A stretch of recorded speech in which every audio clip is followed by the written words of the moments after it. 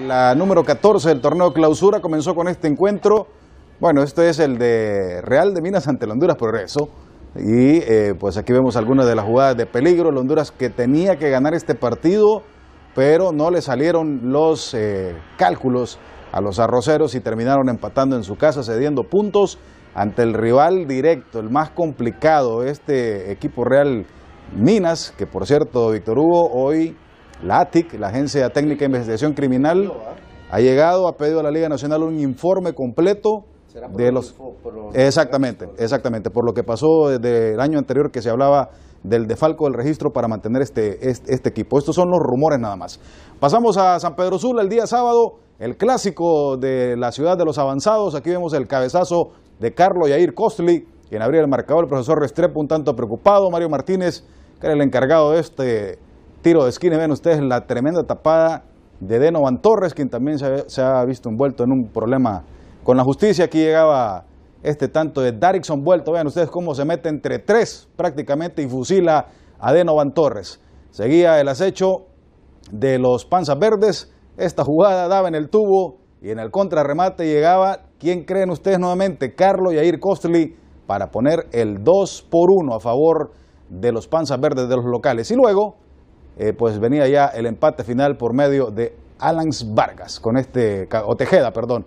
Fue Tejeda, el delantero Tejeda, quien manda este cabezazo para poner el 2 por 2 final. Así celebraban y así festejaban. Mientras tanto, en Juticalpa, el Juticalpa recibía a los rojos del Vida. Otro partido de dientes apretados, partido por el descenso. Comenzaba de esta manera, Lobo, Estupiñán, venía el tanto que ponía a los locales a ganar. Vean ustedes la jugada de Barrios, Ricky Barrios finalmente el que mandaba el balón al fondo de la red para poner el 1 por 0 a favor de los locales.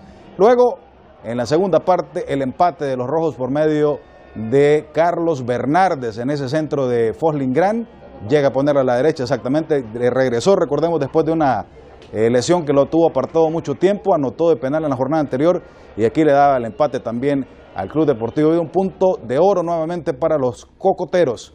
Mientras tanto, el mismo sábado en eh, Choluteca, los Lobos de la UPN recibían a los escuadros del Platense, esta cancha que han adoptado como propia los Lobos. Vean ustedes aquí el gran fallo del defensa.